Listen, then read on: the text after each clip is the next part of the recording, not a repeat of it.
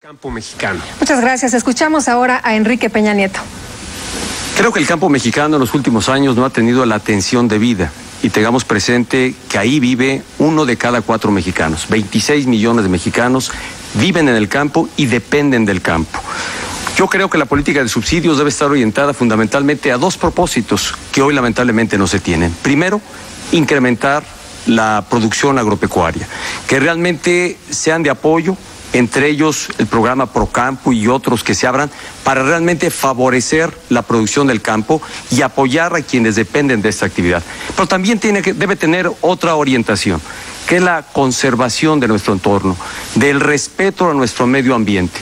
En el Estado de México impulsamos el programa de pago por servicios ambientales que permitió el estímulo y el incentivo a la gente del campo a conservar nuestros bosques, lo que yo denomino nuestras fábricas de agua. Esta es la doble orientación que me parece debe tener la política de subsidios dedicada al campo. Josefina, yo solamente vuelvo a insistir. La información que su página de internet nos da nos deja saber que usted no asistió a la Cámara de Diputados, que sí cobró como diputada, que sí pasó lista de asistencia como si hubiese estado ahí, pero nos seguimos preguntando a usted que habla de la verdad, ¿por qué esta condición de deshonestidad? Muchas gracias. Y ahora la participación de Andrés Manuel López Obrador. Cambio verdadero es desarrollo sustentable, cambiar el modelo económico, la política económica que no ha funcionado.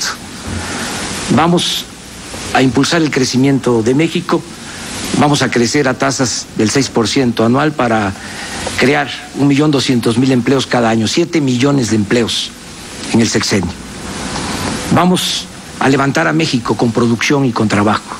Vamos a rescatar al campo del abandono en que se encuentra. Vamos a lograr la soberanía alimentaria. Vamos a apoyar a los pequeños, medianos empresarios, pequeños, medianos comerciantes. Vamos a limpiar a Pemex de corrupción, porque vamos a bajar el precio de los energéticos, vamos a bajar el precio de las gasolinas, del diésel, del gas y de la luz.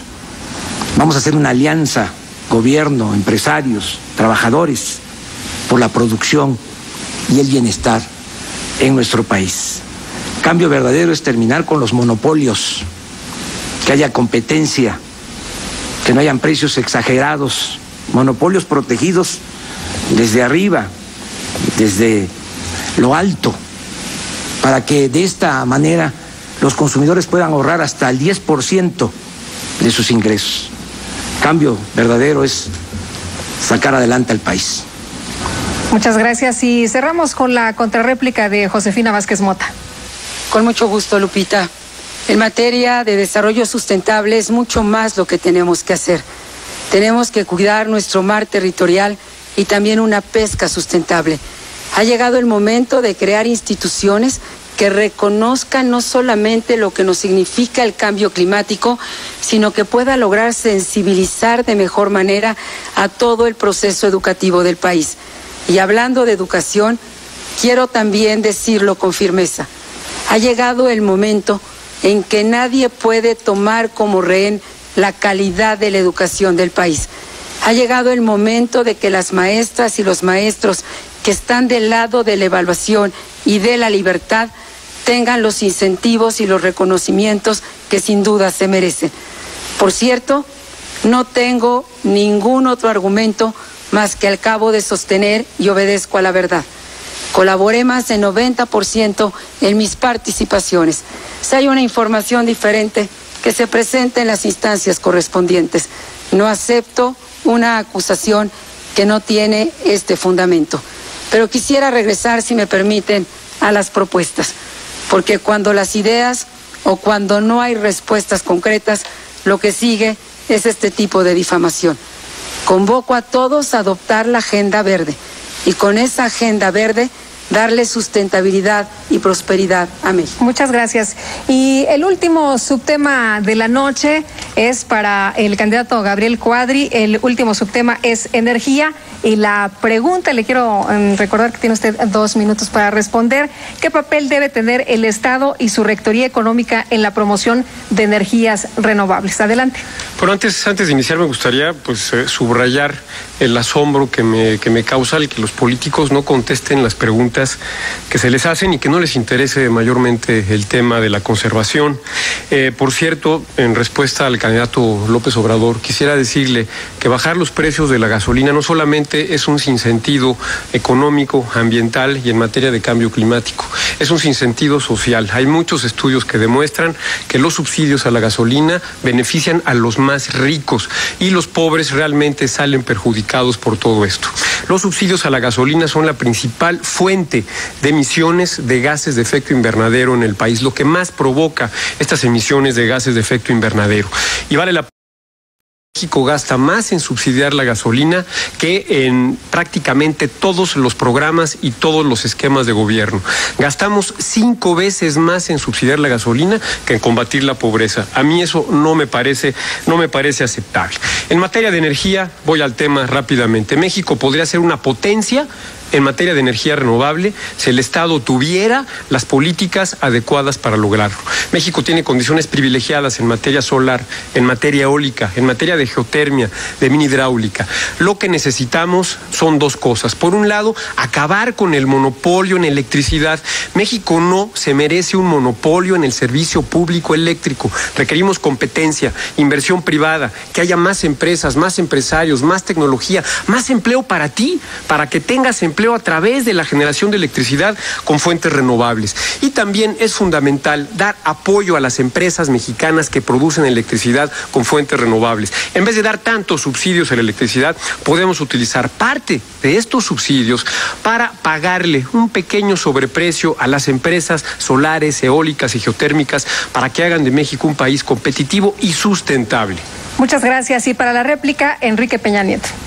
Creo que el Estado mexicano debe asumir liderazgo realmente para impulsar el desarrollo de energías renovables.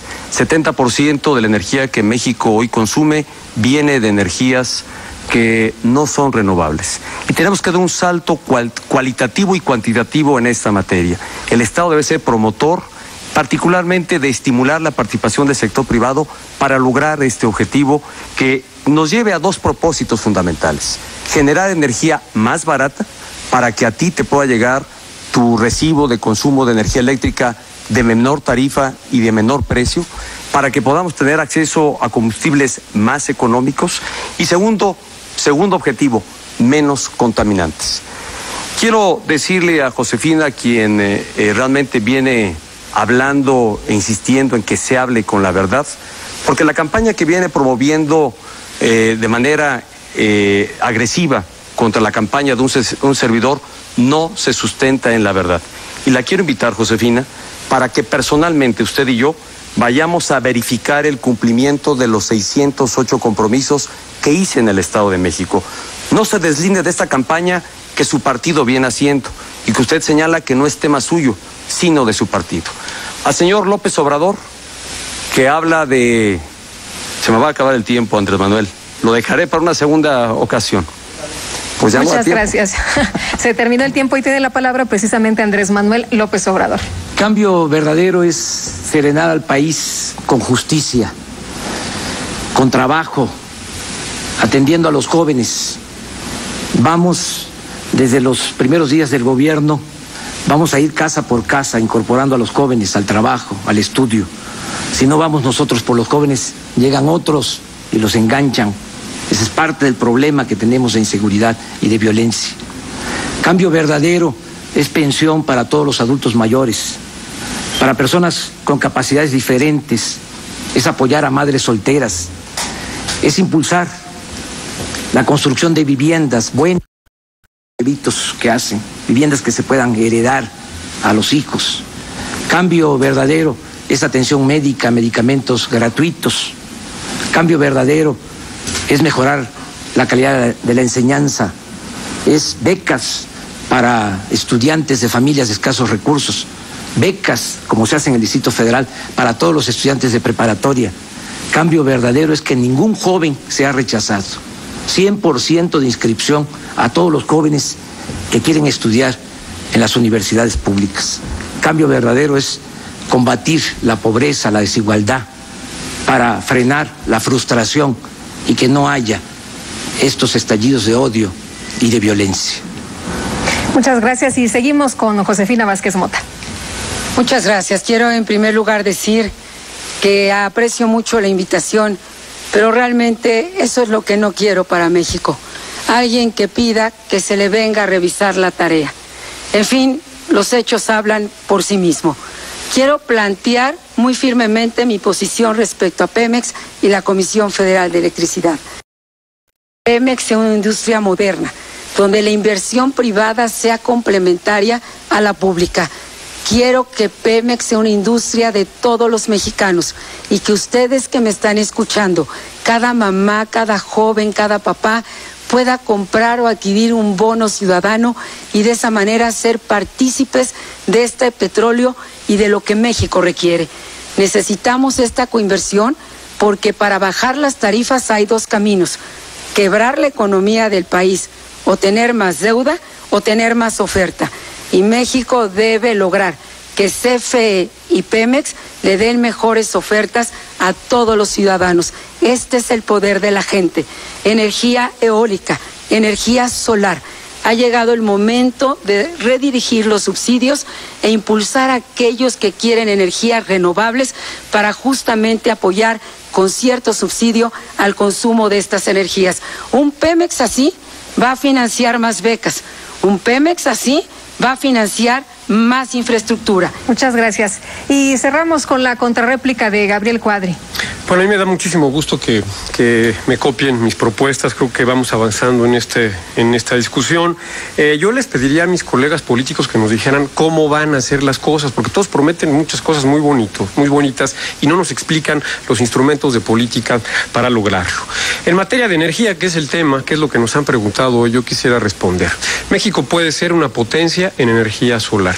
Yo propongo que una buena parte de los subsidios que se utilizan hoy en día para eh, digamos, derrochar electricidad, se usen para entregar con financiamiento a fondo perdido a un millón de hogares mexicanos cada año sistemas solares fotovoltaicos que permitan bajarles, bajarte a ti la cuenta eléctrica en un 80 o 90%. Y se puede. ¿Por qué? Porque esto costaría cada año una tercera parte de lo que el gobierno hoy destina a subsidiar la electricidad. Y un tema muy rápido que tocó el candidato López Obrador, vivienda. Estoy de acuerdo con él en este sentido.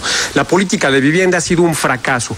Ha promovido el caos urbano en el país, ha destruido a las ciudades de México, ha generado esta, digamos, eh, eh, suburbanización de las ciudades, les ha quitado contenido, hace que la gente viva a horas y horas de su trabajo y de su empleo, que tú pases horas en el camión, horas en el coche para poder trabajar o educarte. Es fundamental cambiar esta política de vivienda y tener en México, que es un país urbano, una sólida política de ciudades y de vivienda. Muchas gracias. Y ahora los candidatos dispondrán de un minuto y medio para finalizar su participación en este debate. Quien lo hace primero es Josefina Vázquez Mota. Adelante. Gracias. En este México de oportunidades, todos podemos ser exitosos. Hay un México para los niños y los jóvenes, un México para las mujeres y los hombres, un México para quienes viven dentro de nuestro país y fuera del mismo. Hay un México para quienes tienen alguna discapacidad. Hoy, después de este debate, nos conoces mejor. Sabes quiénes somos, qué proponemos y sobre todo qué representamos. Yo mirándote a los ojos te he dicho por qué soy diferente. Este primero de julio con tu voto decidirás si quieres que continúe la paz, la paz, el cumplimiento de la ley y por supuesto la estabilidad. Esta paz que solamente se logra reconociendo y enfrentando al crimen organizado. Esta paz que se logra en el fortalecimiento de la cultura. Esta paz que se logra con más becas para los jóvenes. Esta paz que se logra cuando vuelve a crecer la economía y estamos listos para que esto suceda. Tienes que elegir entre este México o el México de corrupción y de atraso. Si eres joven, tal vez no conozcas esta historia. Pregúntale a tus padres. Yo quiero para tus hijos y mis hijas solamente el mejor país. Te invito este primero de julio a hacer este México posible. Este México. Muchas gracias. Y ahora lo hará Gabriel Cuadri. Tiene usted el turno. Adelante. En este debate ha quedado muy claro quiénes son y cómo son los políticos de siempre. Por eso los ciudadanos hemos estado hartos de ellos. Los ciudadanos mexicanos exigimos un México próspero, que sea un país desarrollado, exigimos educación de calidad, exigimos seguridad ciudadana y también exigimos sustentabilidad ambiental para el desarrollo. Por eso quiero ser presidente de México. Este primero de julio debes votar con valentía, debes votar con libertad. Debes decirles a los, a los políticos que sin ti no son nada, que no son nadie sin tu voto. Este primero de julio tenemos la oportunidad de elegir a un ciudadano como presidente de la República, capaz, competente, preparado, transparente y honesto. Puedes eh, quejarte todo el tiempo, ser indiferente, tener eh, muchos seguidores en Twitter o muchos amigos en Facebook, pero si no ejerces el poder de voto, no podemos cambiar las cosas. Te sumo a que con el poder de tu voto les hagamos saber a los políticos de siempre que estamos hartos de ellos. Este primero de julio, de ciudadano a ciudadano, te invito a votar por mí por Gabriel Cuadri, por Nueva Alianza, para poder llevar a cabo esta revolución que necesita México, estas profundas reformas estructurales que nos puedan llevar a ser un país próspero, moderno, seguro y con desarrollo sustentable y educación. De Muchas gracias. Y escuchemos a Enrique Peña Nieto. Muchas gracias. Josefina, si no quiere usted revisar la tarea, no la califique, porque los mexiquenses ya lo hicieron, pero hicieron que mi partido ganara con el 65% de la votación al término de mi gestión. Déjeme decirle a los mexicanos que el próximo primero de julio estará en sus manos decidir el destino de nuestro país. No solo de los próximos seis años, sino de los años posteriores. Por eso, en este debate, no obstante la limitación de tiempo, me he comprometido a temas que son fundamentales. Primero, el de reajustar la estrategia para darle seguridad a los mexicanos. Segundo, combatir la pobreza a fondo para que realmente a través de un sistema de seguridad social universal el beneficio de la seguridad social llegue a todos los mexicanos, con acceso a la salud, con pensión para el retiro, con seguro de desempleo. Tercero, ampliar la cobertura educativa del país para que llegue el nivel preparatoria a todos los jóvenes de México y que un millón y medio más de jóvenes puedan tener acceso a la universidad. También me he comprometido para impulsar de manera decidida el crecimiento económico, para generar más y mejores empleos. México lo demanda, México lo necesita. Tengo la experiencia y tengo la energía para realmente darle impulso al cambio que México necesita. Te pido tu confianza para poder hacer realidad estos compromisos. Muchas gracias. Y para terminar, Andrés Manuel López Obrador, adelante. Amigas, amigos, conozco todos los municipios de México y he recogido los sentimientos de la gente. Tengo experiencia, sé lo que se necesita llevar a cabo para lograr el renacimiento de nuestro país.